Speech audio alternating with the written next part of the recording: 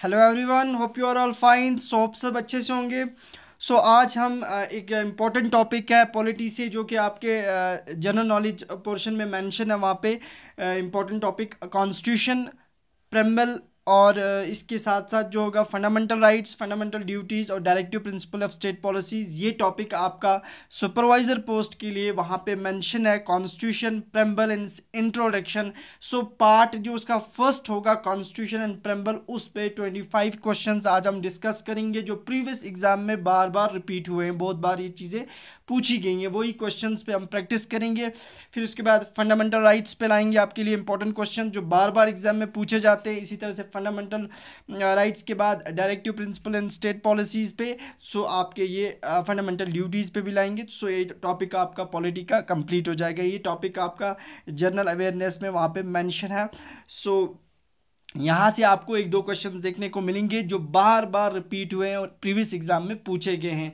सो supervisor post के लिए जिन्होंने भी अप्लाई किया है वहाँ पे ये टॉपिक मेंशन है। बहुत ही इंपॉर्टेंट टॉपिक है। सो so, स्टार्ट करते हैं। डायरेक्ट हम सीधा क्वेश्चंस पे आते हैं। सो so, हमारा फ़र्स्ट क्वेश्चन है यहाँ पे।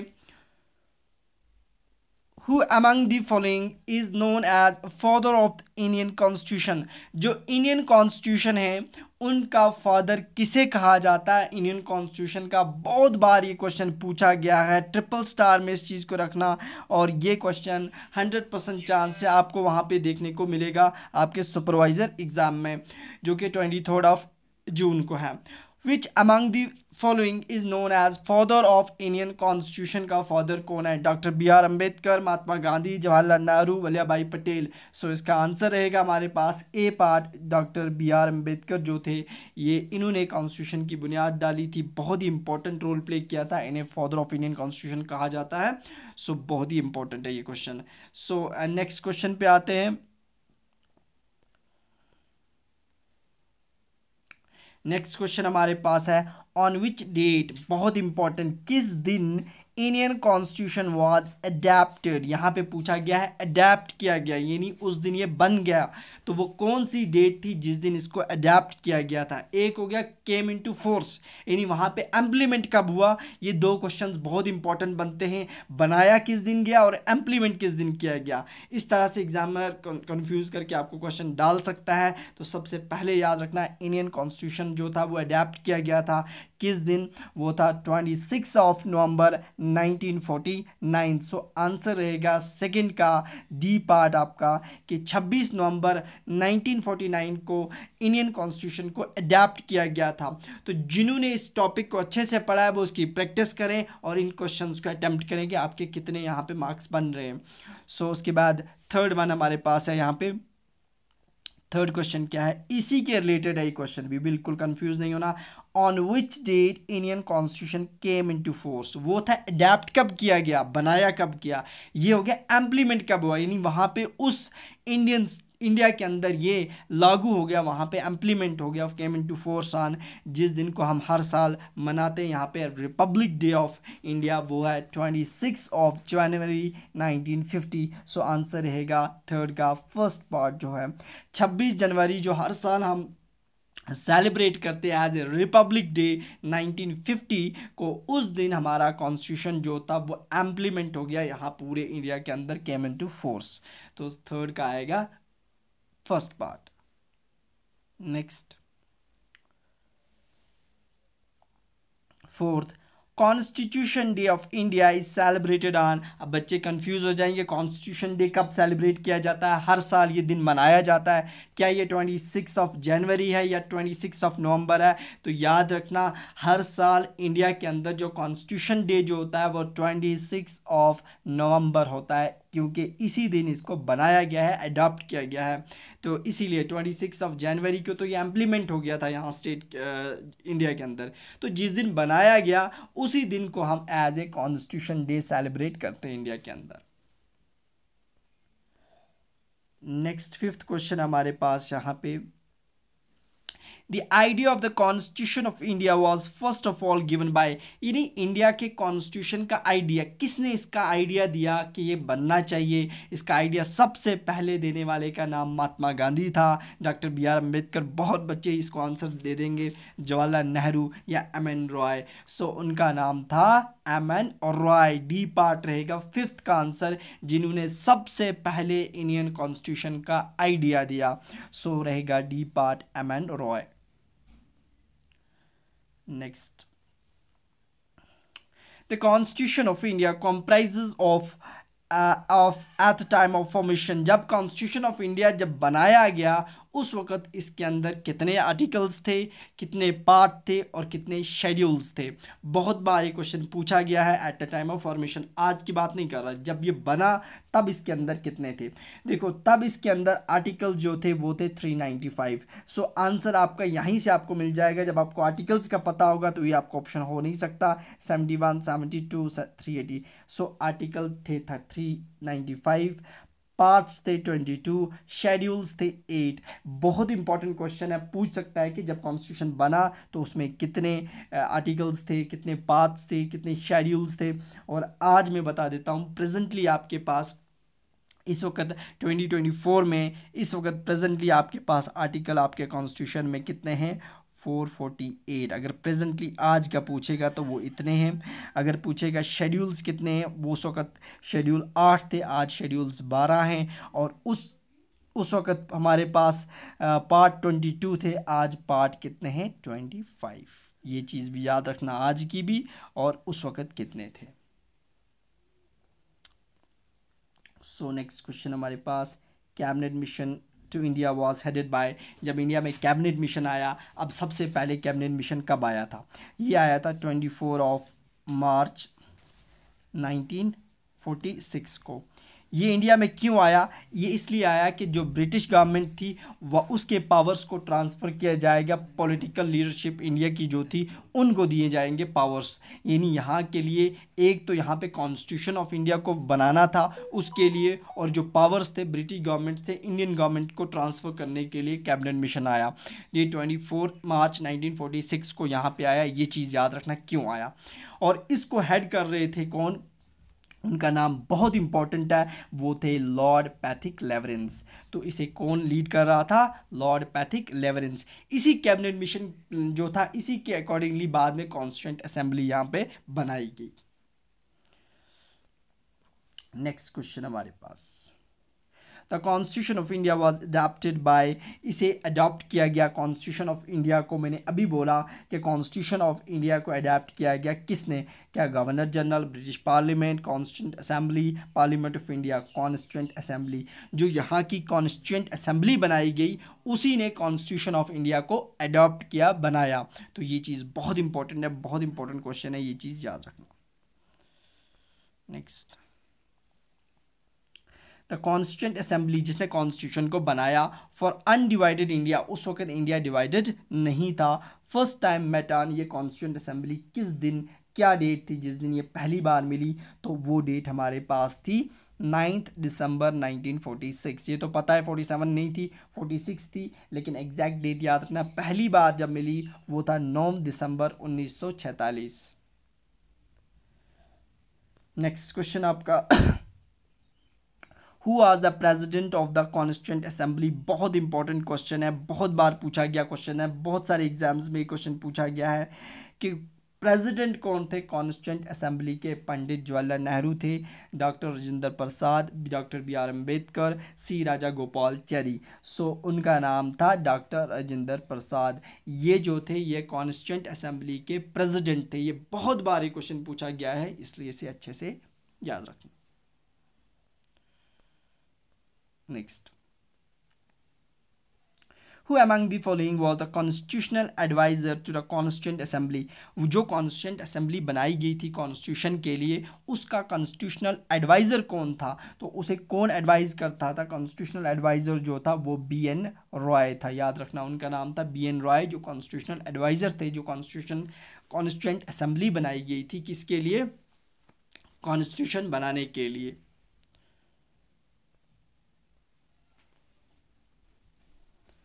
Next question 12.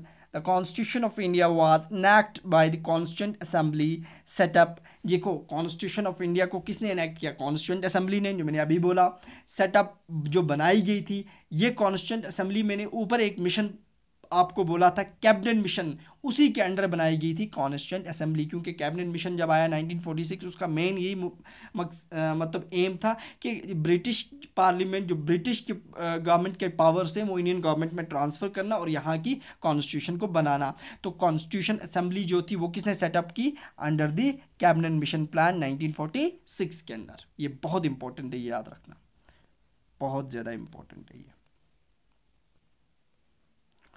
Thirteen question who presided over the inaugural meeting of constituent assembly जब constituent assembly की पहली inaugural, यानी फ़र्स्ट टाइम जब इसकी मीटिंग हुई तो उसको किसने हेड किया था? उस वक्त इनाग्रल पूछ रहा है, यानी स्टार्टिंग में जब बनी, उसके बाद पहली मीटिंग थी, उसे उनका नाम था थर्टीन का ए पार्ट आएगा। बहुत बार ये क्वेश्चन पूछा गया है, सचिंद्रा सिन्हा, उनका क्या नाम था? सचिंद्रा सिन्हा, जिन्होंने फ़र्स्ट टाइम कॉन्स्टिट्यूंट असेंबली जब बनी, उसकी इनाग्रल मीटिंग हुई तो वहाँ वहाँ पे उसको हेड किया था प्रिजाइड किया था सचिंद्र सिन्हा ने। नेक्स्ट क्वेश्चन हमारे पास है। Who among the following was chairman of drafting committee of Indian constitution बहुत ज़्यादा इंपॉर्टेंट है। इसको ट्रिपल स्टार नहीं, इसको फाइव स्टार में इस क्वेश्चन को रखना कि जो कॉन्स्टिट्यूशन की इंडियन कॉन्स्टिट्यूशन की ड्राफ्टिंग कमेटी थी, उसके चेयरमैन कौन थे? बहुत बार ये क्वेश्चन रिपीट हुआ है। बार बार एग्ज़ाम में उनका नाम था डॉक्टर बी आर अंबेडकर जो थे। ये ड्राफ्टिंग कमेटी जो थी इंडियन कॉन्स्टिट्यूशन की, उसके चेयरमैन थे doctor B R Ambedkar Next question. The Indian Constitution has borrowed the idea of preamble from preamble का मतलब क्या होता है? Preamble का मतलब है introductory statement. Preamble क्या हुई? इंट्रोडक्टरी स्टेटमेंट यानी हर चीज़, हम कोई बुक ओपन करते हैं ना, उसका पहले क्या होता है? इंट्रोडक्शन होती है। उसे बोलते हैं प्रेम्बल तभी बोलते हैं ना कॉन्स्टिट्यूशन का प्रेम्बल क्या हुआ? प्रेम्बल का मतलब है उसकी पहला पेज उसका फ़र्स्ट उसकी इंट्रोडक्शन उसी को हम प्रेम्बल बोलते हैं। तो प्रेम्बल फॉर्म एक idea of preamble form Indian constitution ने कहाँ से ये आइडिया लिया है? किस किस कंट्री के कॉन्स्टिट्यूशन से उनको ये आइडिया मिला? तो ये मिला था उनको कॉन्स्टिट्यूशन ऑफ़ यूएसए अमेरिका के, यानी USA United State of America का जो कॉन्स्टिट्यूशन था, वहाँ से उन्हें ये प्रेम्बल का आइडिया मिला। नेक्स्ट ये बहुत इंपॉर्टेंट है. The preamble of the Indian constitution का जो प्रेम्बल है, उसका जो पहला पेज है इंट्रोडक्शन है, जहाँ पे, वहाँ पे कुछ लाइन लिखी हुई है. ये लाइन याद रखना, बहुत बार एग्ज़ाम में ये पूछी गई है प्रेम्बल में क्या लिखा गया है? वहाँ लिखा गया है डी पार्ट आएगा इसका. We the people of India ये लाइन वहाँ पे लिखी गई है ऐसे ही. We the people of India in our constituent assembly adopt enact and give to ourselves to this constitution ये लाइन आपको वहाँ पे देखने को मिलेगी कहाँ पे? जो कॉन्स्टिट्यूशन ऑफ़ इंडिया है, वहाँ पे ये चीज़ मैंशन है। तो ठीक है, बहुत ही इंपॉर्टेंट है ये लाइन याद रखना। बहुत बार पूछी जाती है पेम्बल में क्या चीज़ लिखी गई है। So next eighteen question which of the following is not part of the preamble of the Indian constitution Indian constitution का जो प्रेम्बल है, जो इंट्रोडक्टरी पार्ट है, उसमें एक चीज़ मैंशन नहीं है। देखो सिक्यूलरिज्म, वहाँ पे ये टर्म मेंशन है। सोशलिज्म ये भी है डेमोक्रेटिक रिपब्लिक ये भी है फेडरलिज्म वहाँ पे टर्म नहीं है। ये तीनों टर्म्स आपको मिलेंगी इंडियन के प्रेम्बल प्रेम्बल जो होगा इंडियन कॉन्स्टिट्यूशन का इंट्रोडक्टरी पार्ट वहाँ पे। सेक्युलरिज्म का मतलब पता है क्या होता है? जहाँ पे रिलीजन जो मज़हब है शुड नॉट बी वो उसे इन्वॉल्व नहीं करना चाहिए पॉलिटिकल एक्टिविटीज़ सोशल एक्टिविटीज़ में। इन्हीं सारे जितने भी रिलीजन्स हैं, वो इक्वल हैं। और सोशलिज्म का मतलब society and democratic republic democratic republic का मतलब होता है हमारे पास, जो सुप्रीम पावर होता है, वो पीपल्स होते हैं। क्योंकि उन्होंने अपने रिप्रेजेंटेटिव भेजे होते हैं, लोग जो होते हैं, वही मेन पावर होते हैं। यहाँ पे कोई भी मोनार्की सिस्टम नहीं होता। तो ये तीनों टर्म्स वहाँ पे मेंशन है और फेडरलिज्म वहाँ पे नहीं है।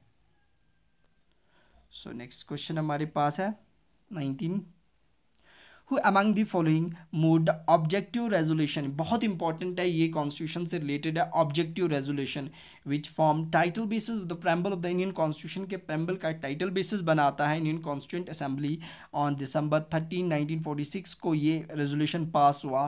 तो इस कि इसको कौन लीड कर रहा था, इस ऑब्जेक्टिव रेजोल्यूशन को ये किसने लाया था? ये थे इंडिया के पहले प्राइम मिनिस्टर पंडित जवाहरलाल नेहरू जिन्होंने ऑब्जेक्टिव रेजोल्यूशन लाया था, जिसमें कॉन्स्टिट्यूशन के प्रम्बल के बारे में सारा कुछ मेंशन था और कॉन्स्टिट्यूंट असेंबली किस तरह से बनाई जाएगी, ये सारी चीज़ें। The Indian constitution is regarded as Indian constitution को हम क्या फेडरल बोल सकते हैं यूनिटरी बोल सकते हैं? पार्लियामेंट्री या federal in form and unitary in separate देखो इंडिया का कॉन्स्टिट्यूशन फेडरल भी है और यूनिटरी भी है। किस लिहाज से देखा जाए? अगर हम फेडरल की बात करें तो इंडिया का इंडिया के अंदर आप देख सकते हो, यहाँ पे दो गवर्नमेंट्स होती हैं सेंट्रल गवर्नमेंट स्टेट गवर्नमेंट और पावर्स सेंटर के पास भी होते हैं स्टेट के पास भी होते हैं और जुडिशरी यहाँ पे इंडिपेंडेंट है। तो ये हमारे पास क्या होती है? ये हमारे पास फेडरल टाइप ऑफ़ गवर्नमेंट होती है और यूनिटरी भी इंडिया देखो यूनिटरी कैसे है? यहाँ पे सेंटर जो होता है वो स्ट्रांग होता है यहाँ पे। और सिंगल सिटीजनशिप सिंगल सिटीजनशिप, इसी तरह से सिंगल कॉन्स्टिट्यूशन। तो हम कह सकते हैं कि इंडिया का कॉन्स्टिट्यूशन यूनिटरी भी है और फेडरल भी है। सो आंसर रहेगा डी पार्ट उसके बाद twenty one the term socialist मैंने अभी बोला, ये कॉन्स्टिट्यूशन के प्रेम्बल में मेंशन है। सिक्युलर ये भी integrity were added preamble Indian constitution through ये इंडियन कॉन्स्टिट्यूशन के प्रेम्बल में ऐड की गई ये तीनों टर्म्स कौन सी अमेंडमेंट की गई थी? वो उस अमेंडमेंट का नाम क्या था? वो एक फोर्टी फ़र्स्ट अमेंडमेंट थी फोर्टी सेकेंड थी फोर्टी थर्ड थी फोर्टी फोर्थ थी। बहुत बार ये क्वेश्चन पूछा गया है। याद रखना, वो थी फोर्टी सेकेंड अमेंडमेंट इस अमेंडमेंट के अकॉर्डिंगली तीन वर्ड्स इंडियन के प्रम्बल के अंदर ये डाले गए सोशलिस्ट सिक्यूलर और integrity next in Indian polity which one is supreme Indian polity के अंदर पॉलिटिकल सिस्टम के अंदर सबसे सुप्रीम कौन माना जाता है? क्या सुप्रीम कोर्ट को माना जाता है सबसे सुप्रीम कॉन्स्टिट्यूशन को प्रेम्बल पार्लियामेंट को रिलीजन को। सबसे supreme Indian polity Indian politics में कॉन्स्टिट्यूशन ऑफ़ इंडिया को सबसे सुप्रीम माना जाता है, ये चीज़ भी याद रखना। The federal system with the strong central जहाँ पे सेंटर स्ट्रॉन्ग हो स्ट्रॉन्ग होगी has borrowed the Indian constitution from यानी एक फेडरल सिस्टम ऑफ़ यानी इंडियन कॉन्स्टिट्यूशन मैंने अभी बोला फेडरल भी है यूनिटरी भी है। तो फेडरल जहाँ पे सेंटर uh, जो होती है स्ट्रॉन्ग होती है इसको किस कॉन्स्टिट्यूशन से लिया गया है किस से ये लाया गया है? तो ये कनाडा के कॉन्स्टिट्यूशन से ये चीज़ लाएगी कि इंडिया का जो कॉन्स्टिट्यूशन है वो फेडरल सिस्टम भी है वहाँ पर सो ट्वेंटी फोर क्वेश्चन क्या है? Who propose the preamble before the drafting committee जो ड्राफ्टिंग कमेटी थी जिसके चेयरमैन भी अभी मैंने आपको बोला उसके सामने प्रेम्बल को सबसे पहले किसने ला के रखा था? प्रेम्बल को इंट्रोडक्शन ऑफ़ कॉन्स्टिट्यूशन को सबसे पहले किसने वहाँ पे रखा था? उनका ना, नाम था जवाहरलाल नेहरू। बहुत इंपॉर्टेंट क्वेश्चन नेक्स्ट बहुत बार ये भी पूछा गया है।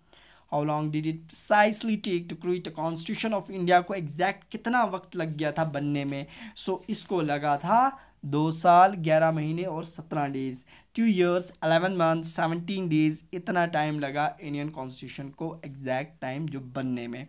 सो so, ये थे हमारे पास top most best important MCQs जो आपके कॉन्स्टिट्यूशन और इंट्रोडक्टिव पार्ट जो था प्रेम्बल का वहाँ से बहुत बार ये क्वेश्चन रिपीट हुए हैं। सो so, ये कंप्लीट होते हैं इसकी पीडीएफ बाद में आपको टेलीग्राम चैनल पे मिल जाएगी और नेक्स्ट टॉपिक जो होगा उस पर हम कवर करेंगे जो हमारा फंडामेंटल राइट्स है उस पर भी इसी तरह से हम क्वेश्चन टॉप मोस्ट जो बार बार रिपीट होते हैं वो क्वेश्चन लाएँगे और उसके बाद फंडामेंटल ड्यूटीज़ पे भी। सो ये टॉपिक कंप्लीट हो जाएगा। सो मिलते हैं कल, जो भी फ़र्स्ट सो मिलते हैं कल। ओके अल्लाह हाफिज़। Thank you